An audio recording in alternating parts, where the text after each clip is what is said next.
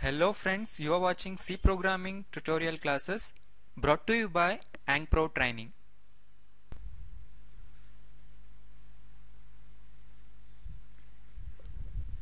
So friends, in this class we will be learning uh, the data types that we use in C program and we'll practice some example programs to demonstrate those data types. So first we'll understand what are data types. A data type is a keyword which specifies the type of data being stored in the variable.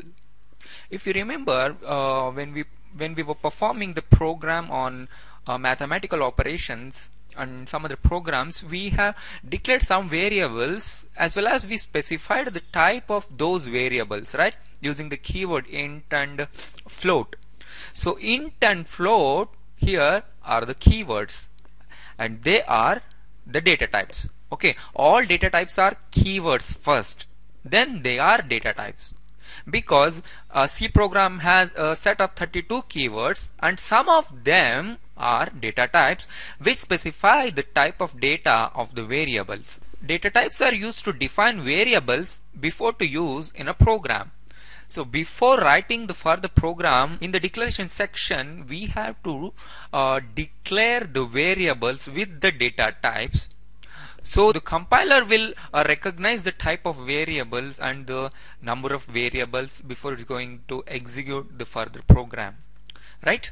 So size of variables are determined by data types. There are situations uh, where we store different kinds of data.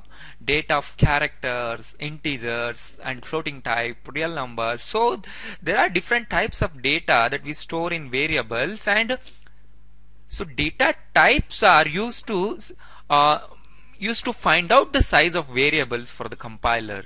So by looking at the data types, compiler uh, compiler will find out the size of the variables that is going to allocate in the future, right? Data types are put before the variables in the declaration to specify variables type as we did in the last programs. For example, int num and sum. So here in this example it's a declaration statement uh, which declares two variables respectively num and sum of the type int. So int is a data type uh, defining the type of data being stored in num and sum variables. All data types are keywords. So moving on. First we'll understand and know uh, the different types of primary data types. So primary data types are also called as fundamental data types, basic data types, right? First comes the char data types. So which requires one byte of memory for a variable, right? Char is a data type uh, which represents all the characters corresponding to the ASCII code between minus 128 and plus 127 right so when you declare a variable with the data type char it has to have one byte of memory for the character and it can store any character corresponding to the uh, ASCII code minus 128 to positive 127 so whatever comes between minus 128 to 127 that character can be stored inside a variable of type char. So int variable must require 2 bytes of memory if we are running the program in 16-bit word length computer. The memory size of the variable depends on word length of the computer. If we are using 16-bit computer, so int variable must require 2 bytes of memory. If we are running the program on 32-bit computer, it requires 4 bytes of memory for a integer variable. Let us assume that we are running this program on the 16-bit computer and we'll find out it later. And uh, the integer variable a single integer variable requires 2 bytes of memory. And the range of value that we can store in an integer variable lies between negative 32768 and positive 32767 whatever the number between these two values can be stored in an integer variable. So this is the range of a integer variable. You cannot exceed 32767 right? If you want to have a more value in a integer variable then you must go for the long variable. So long is a data type representing a variable which can store a longer value than the integer variable. So long variable uh, must have or it must uh, require 4 bytes of memory and we can store up to uh, 21474834647 so here we have the both negative and positive range. Whatever comes between uh, these two uh, range can be stored in a long variable. Right? So we are assuming the 16-bit computer a long variable in 16-bit computer must require 4 bytes of memory. So for real numbers or with the numbers with the decimal value are stored in the float variables. So a single float variable requires 4 bytes of memory and can have 6 decimal fractional part, right? And the range for this float variable starts from 3.4 exponent minus 38. That means 3.4 into 10 to the power minus 38 and the maximum value that can a float variable have is 3.4 into 10 to the power positive 38 and the float variable can have a number with the fractional part consisting of maximum 6 decimal places. And a double is also type of a float variable but it can have 14 decimal places after the point after the decimal point. And you can find out the range of a double variable and there is one more data type called void which is an empty data type normally used with the functions or subprograms. Uh, it, it cannot be used uh, along with the variables but it represents the return type of the function uh, where we used it right? Uh, every function in the C program has to return something to the calling function if the function is returning nothing then we represent uh, that nothing with the keyword void. Or void is an empty data type uh, uh, which normally specify the return type of the function. When the return type is nothing just mention the word void if it is if the function is returning something in the form of integers then uh, start the function name with uh, uh, with the keyword int okay? So friends to demonstrate the different data types in C I have declared all the various types of basic data types here. So I've declared a character variable C integer variable I long variable L float variable F and double variable D. So here we have got five different data types uh, for five different variables. Okay. Now let's go and find out uh, the the memory size of all these data types. So how to find out the memory size for this particular computer for any particular computer?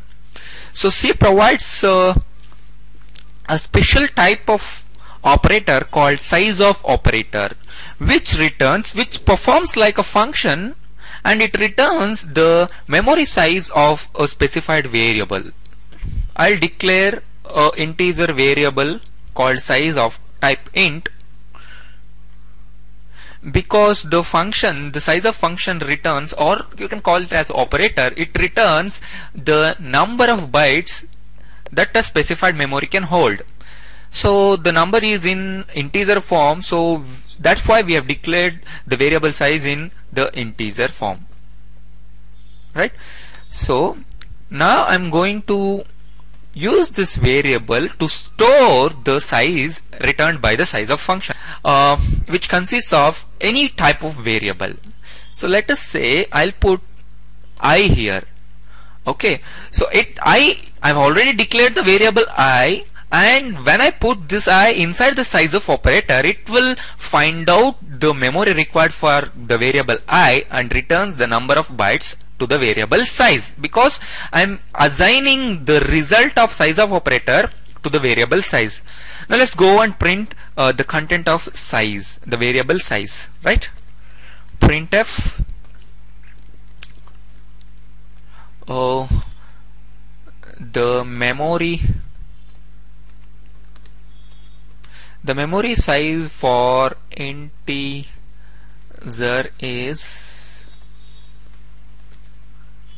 equal to percentage d comma size. So here I am printing the content of C uh, which has got the number of bytes for the variable i which is of type int. Okay let us add the clear screen so remember you must have this clear uh, this clear screen statement after all the variable declaration. Control F9 so the memory size for integer is 2 so I got the number 2 in place of percent %d which is a placeholder for this variable size right? So size has got now uh, the memory size of in integer i so like this we can find out the size of any variable here. Here in this printf statement I have included the size of uh, operator because I merged both in the single statement. So this will give me the character data type. So this will return the size of character data type because I have told here like the memory size of character data type is percent %d byte. Uh, here in place of percent %d I'm going to place the content returned by the size of function.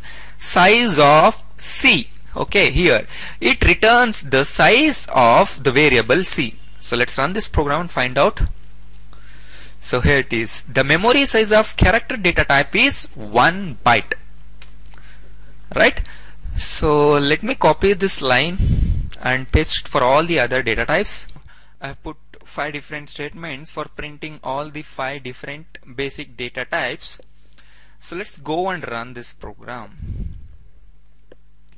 Here it is. We have got uh, the size of character data type is 1 byte integer data type is 2 bytes long data type is 4 bytes float data type is 4 bytes and double data type is 8 bytes. Right? So this is according to my system okay so you may got the different values in your computer. So this is the function size of function returns the number of bytes allocated for the specified uh, variable. So this is how we can uh, see the number of bytes or the memory space allocated for a variable. So these are the different types of data types we have got in our uh, C language. So first first let me save this file so I will call it as data types dot C well friends that's it for the class. Subscribe to our channel on YouTube. Like our page on Facebook. Follow us on Twitter and join our group on LinkedIn. Thank you